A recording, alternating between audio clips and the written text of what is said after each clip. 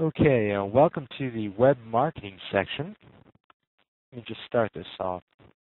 You need to aggressively invest resources, consistency, and time to leverage the web as an effective marketing tool.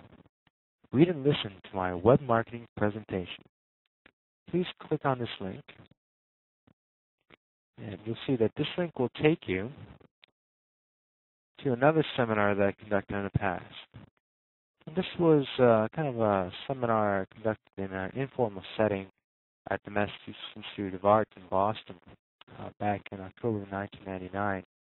Uh, it was a seminar focusing on web marketing, and given the fact that my audience is mostly students uh, um, aspiring to gain an artistic degree, I focused it on uh, you know sites dealing with art or cultural sites uh, in general.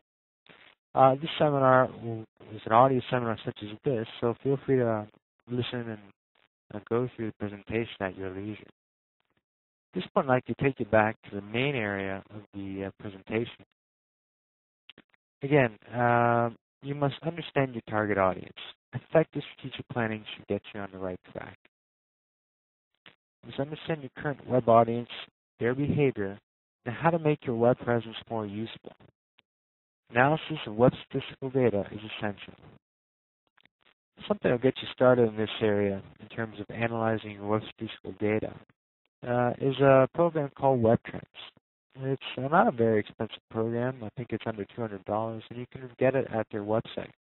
Uh, just click on that link, uh, and that will take you to the WebTrends uh, website. Essential statistical data is key to understand how users are using the website. I mean, you can do all the uh, research beforehand and still have a chance to uh, get things wrong. Uh, uh, failure is always one step away in whatever you do. However, by using a statistical, a statistical analysis package such as this, you minimize the risk. You'll see the behavior of pages that were most popular, the common paths through the website, you'll be able to get an idea of how to probably modify your navigation, uh, get an idea of what your uh, audience is using, what their bandwidth connections are, and so on. Now I'd like to get you back onto the main window again uh, to uh, uh, get a web statistical analysis package at your leisure. And WebTrends is something that gets started. There are more intricate and more um, complex packages out there. But um, it is essential that you analyze your users' uh, behavior. If you have an inspiration to create a website with better uh, usability, or to uh, you know market effectively. At this point, to continue on, content is the main word of mouth generator. You need to understand which content is best targeted for different user profiles. Again, at this point, uh, you'd probably be better off clicking on the link and going to the web marketing uh, strategic uh, analysis section. Uh, this is a, a document which uh, we spent some time on before. It talks about uh, looking at your content portfolio, classifying it, and then allocating the correct priority and matching up content uh, depending on what of users you're going to have. Now, I would like not to spend too much time on this section, because I've already gone through it, and I will continue on, on to the main presentation. Effective long-term, scalable information architecture will get you on the right track. What do people find useful? Do I have the talent and time for content creation? If not, may I borrow some content?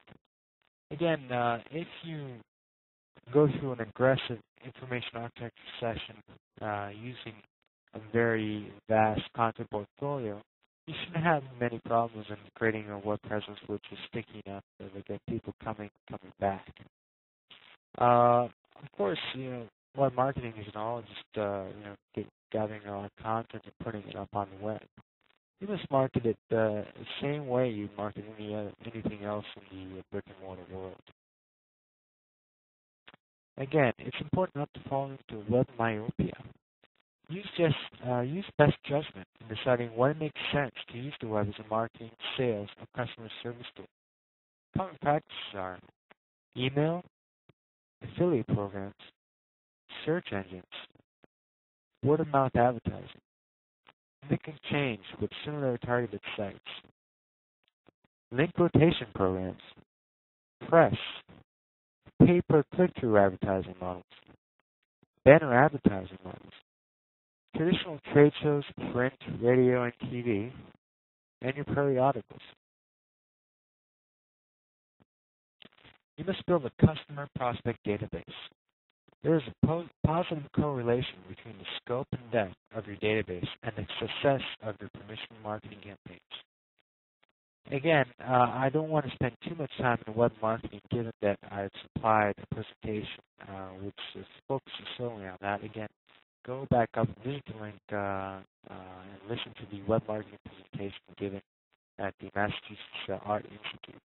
What I'd like to do is uh, quickly take you on to the next session, uh, which is the ongoing operations section.